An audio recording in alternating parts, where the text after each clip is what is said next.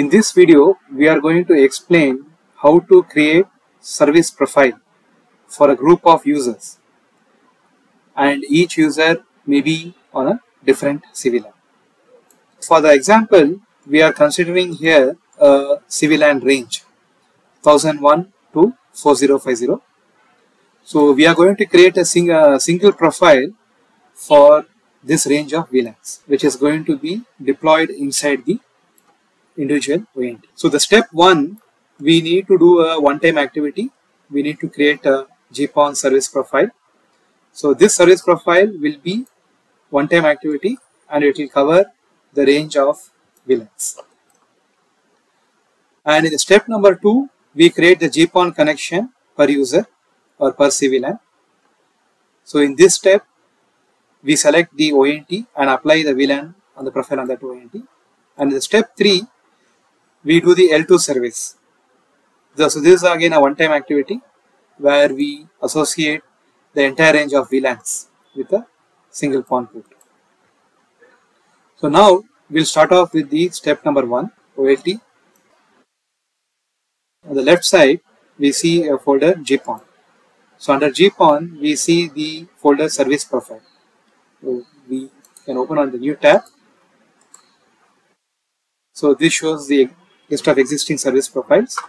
So let me add a new service profile. So here I want to create a profile of some range. So I'm giving a name, easy to identify name, range 1001 to 4050. So the type of service is a VIP type of service. So one VIP uh, service type refers to the uh, single VLAN which we create on the ONT. And input tag, we keep it as single tag. So single tag means we need to apply a VLAN inside the ONT. However, the traffic coming out of the ONT towards the client or the customer would be untagged. And the traffic coming towards the OLT PON port from the ONU would be tagged. So if you choose this as untagged, it means we don't need to apply a VLAN inside the ONU. So we choose this as single tag and then we have options here for fixed bandwidth, assured bandwidth, maximum bandwidth. Let us say we take the maximum bandwidth. So here this need to be in multiples of 64 and uh, I have applied here full 1G. So what this entry means is that the customer will be allowed to utilize a maximum 1G bandwidth and uh, if there is not sufficient bandwidth available, he would be limited to a lesser band. So he will not be allowed to cross 1G.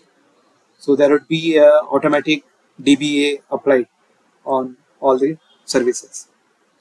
Okay, coming back to the VLAN range, my CVLAN. So single VLAN I need to apply on the ONT side. I need to choose this menu here. So 1001. So I choose this range 1001. This is the starting VLAN and my ending VLAN is 4050. Drop down menu. I choose this range and I move my cursor onto the menu here and I type on my keyboard the number 4050 and press the enter button. Automatically the number will be chosen 4050. See here that I have selected VLAN 1001 to 4050. The remaining settings are all default. Click on submit. Yes. Now we see the message my service profile is created. You can even search the profile. So we see here this is my service profile created. So service, service profile is basically a dummy template. This is not yet active or it is becomes active when you apply it to a connection on a ONT. Coming back here, step 1 is completed. Next is the step 2. So I want to apply this on let's say ONT number 1121. I just verify whether my ONT is active go to maintenance, manage ONT. So it's 1121. This is the ONT ID. So come back here, come to connections.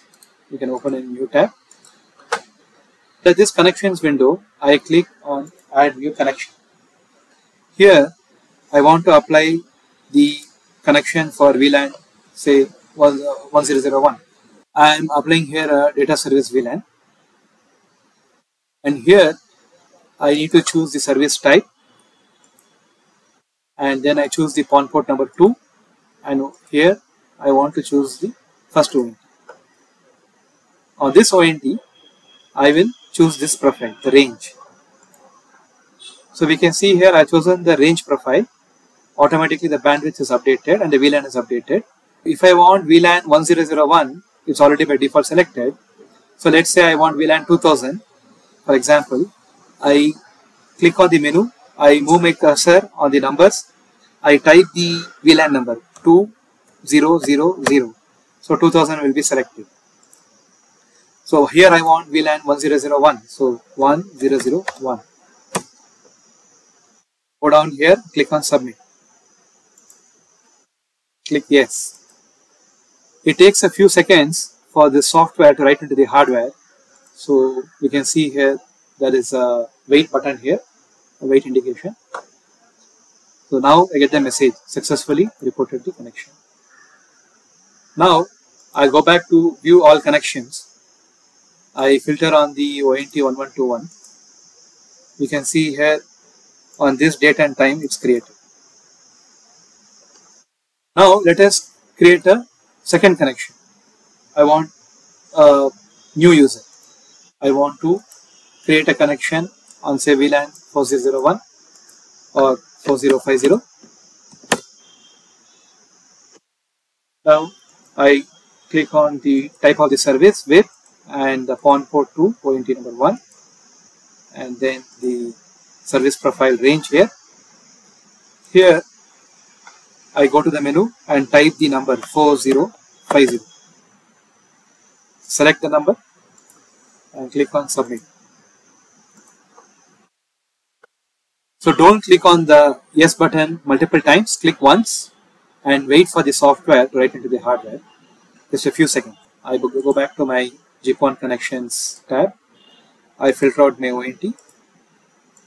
So we can see here I have created a connection for two different VLANs 1001 and 4050 using the same service profile. So I can do the same activity on a different ONT number also. I have completed the step number 2.